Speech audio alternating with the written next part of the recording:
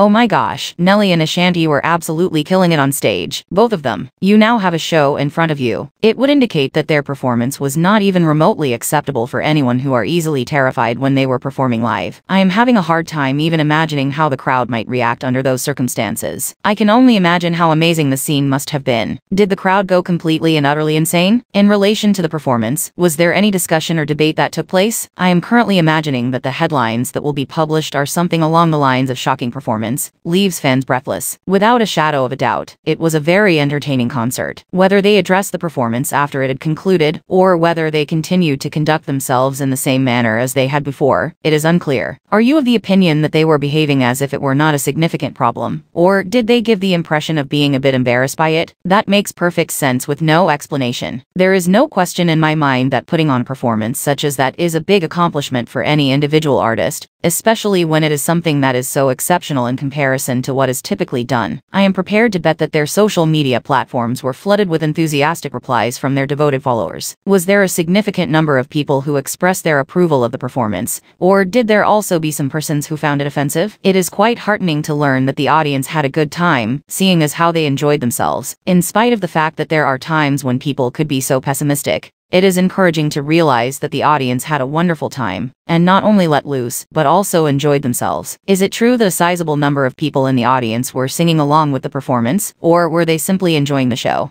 I'm going to venture a guess and say that everyone was dancing, moving their bodies to the beat of the music, and standing up. It is a clear indication that the show is truly great when every single individual in the audience reaches the point where they are standing up and getting down to the music. It is my strong suspicion that it was a night that each and every person who was a part of it will never forget. Are you of the opinion that Nelly and Ashanti will perform something comparable at future events? Or do you believe that it was merely a one-time occurrence that just so happened to take place?